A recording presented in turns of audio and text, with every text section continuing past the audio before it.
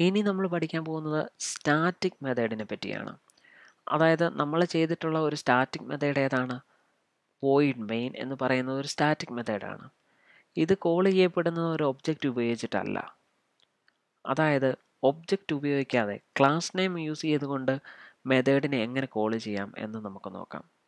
അതിനാണ് അങ്ങനെ അങ്ങനെ ഒരു ഫീച്ചർ നമ്മുടെ ജാവ പ്രോഗ്രാമിലേക്ക് കൊണ്ടുവരാൻ വേണ്ടിയാണ് നമ്മൾ സ്റ്റാറ്റിക് മെത്തേഡ്സുകൾ യൂസ് ചെയ്യുന്നത്.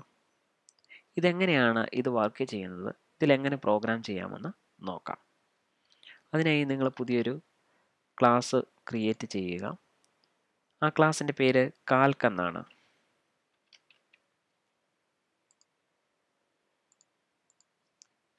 മെയിൻ മെത്തേഡ് ആഡ് ചെയ്യുക.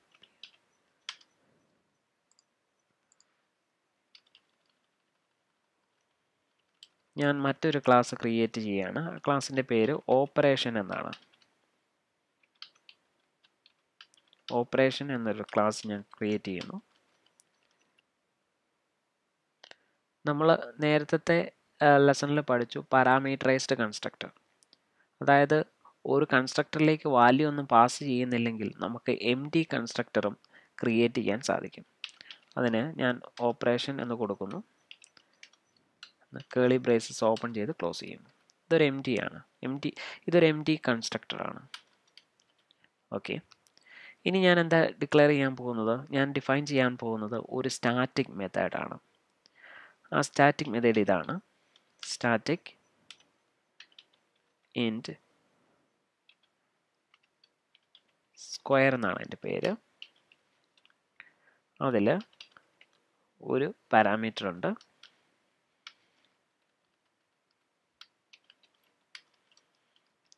ഈ മെത്തേഡ് എന്താ ചെയ്യുന്നതെന്ന് വെച്ച് കഴിഞ്ഞാൽ സ്ക്വയർ എന്ന ഈ മെത്തേഡ് കോൾ ചെയ്ത് അതിലേക്ക് ഒരു ആർഗ്യുമെന്റ് പാസ് ചെയ്ത് കഴിഞ്ഞാൽ അതിന്റെ സ്ക്വയർ കാണുന്നു. അത് റിട്ടേൺ ചെയ്യുന്നു. അത് ഞാൻ റിട്ടേൺ സ്റ്റേറ്റ്മെന്റ് കൊടുക്കണം. Return a into a okay ഇനി ഞാനൊരു നോർമൽ മെത്തേഡ് കൊടുക്കുന്നു. Int add int a int b. എനെ ബിനെ ആഡ് ചെയ്തിട്ട് റിട്ടേൺ ചെയ്യുന്നു.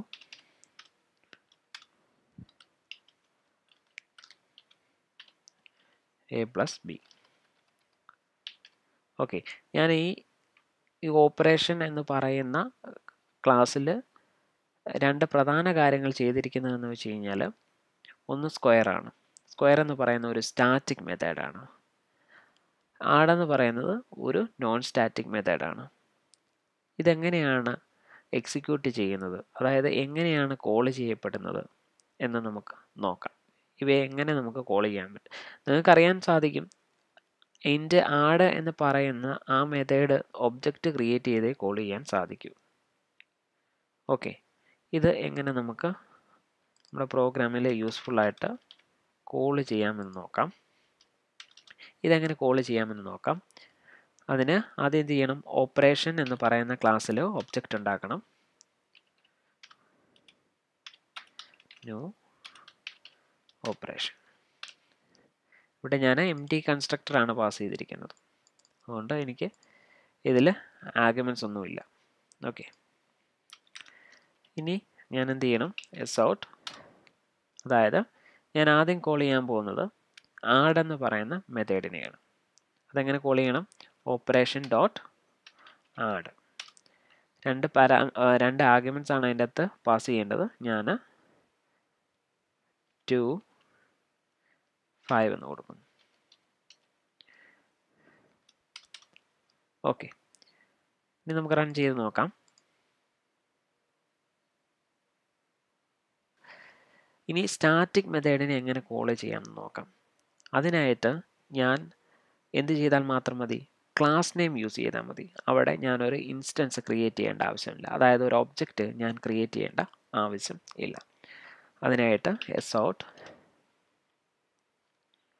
എന്ത് ചെയ്താൽ മതി? എന്റെ ക്ലാസ് നെയിം എന്റെ ക്ലാസ് നെയിം എന്താണ്? ഓപ്പറേഷൻ ഡോട്ട് സ്ക്വയർ എന്ന് മാത്രം കോൾ ചെയ്താൽ മതി. അതിലേക്ക് ഞാൻ ഫൈവ് കൊടുക്കുന്നു. ഇനി റൺ ചെയ്യാം അതായത് ഈ ഓപ്പറേഷൻ എന്നുള്ളത് ഈ ക്ലാസ് നെയിമാണ് ക്ലാസ് നെയിം ഡോട്ട് സ്ക്വയർ അതായത് മെത്തേഡിന്റെ നെയിം മാത്രം കൊടുത്താൽ മതി. ഈ ഒബ്ജക്റ്റിനെ എനിക്ക് യൂസ് ചെയ്യേണ്ട ആവശ്യമില്ല. ഇവിടെ നിങ്ങൾ പ്രത്യേകം ശ്രദ്ധിക്കണം. ഓപ്പറേഷൻ എന്ന് പറഞ്ഞിരിക്കുന്ന ക്ലാസ് നെയിമാണ് അത് പെട്ടെന്ന് നിങ്ങൾക്ക് മനസ്സിലാക്കാൻ സാധിക്കും.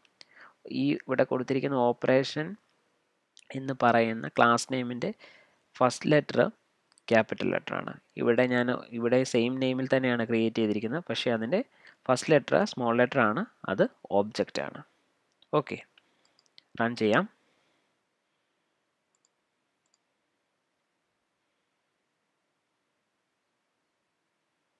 ഓക്കെ നമുക്ക് സെവൻ ട്വന്റി ഫൈവ് എന്ന് കിട്ടിയിരിക്കുകയാണ്. ഈ പ്രോഗ്രാം നിങ്ങൾ ചെയ്ത് നോക്കുക.